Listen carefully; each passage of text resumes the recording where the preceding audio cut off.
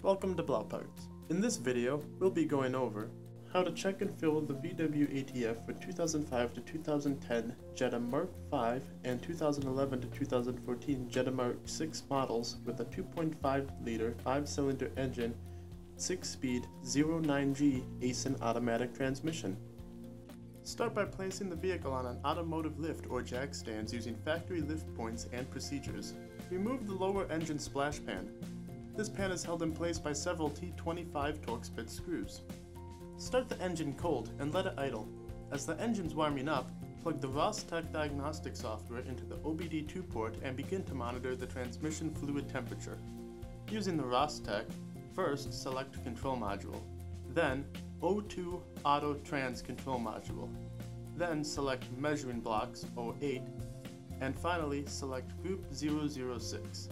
Displaying Group 006 in Field 1 will allow for an accurate ATF temperature reading. Locate the transmission drain plug. Using a 5mm Allen, loosen but do not remove the drain plug at this time. Locate and have on hand a suitable waste oil drain pan to catch dripping ATF when the plug is removed in the next series of steps. With the vehicle idling and in a level position, allow the transmission fluid temperature to warm between 35 degrees Celsius and 45 degrees Celsius.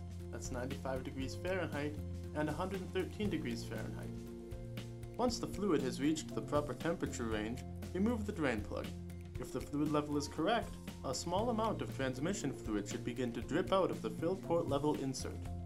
If a steady stream of fluid runs out of the fill port and the fluid temperature is within 35 and 45 degrees Celsius, let the excess fluid drain until it drips. Make sure the fluid does not exceed 45 degrees Celsius or 113 degrees Fahrenheit.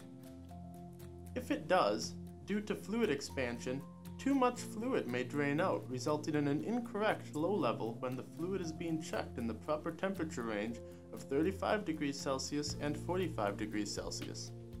If the fluid exceeds 45 degrees Celsius, reinstall the 5mm Allen drain plug, turn off the engine, and allow the transmission to cool below 30 degrees Celsius. Then, start the fluid level check procedure over again. If the transmission is between the proper temperature range, 35 degrees Celsius and 45 degrees Celsius, or 95 degrees Fahrenheit and 113 degrees Fahrenheit, and you have no fluid dripping from the fill port, you will need to add the approved ATF. Add the ATF by using Blaupart's handy ATF pump fill kit, part number J91004, which includes the drain plug adapter fill tool and approved Ravenol T4 ATF fluid. Both are available at blauparts.com. Click the links below this video to learn more. After achieving proper fluid level, reinstall the 5mm Allen drain plug and torque it to 12 foot-pounds. Turn the engine off and exit the Ross-Tech diagnostic software and disconnect the OBD2 plug port.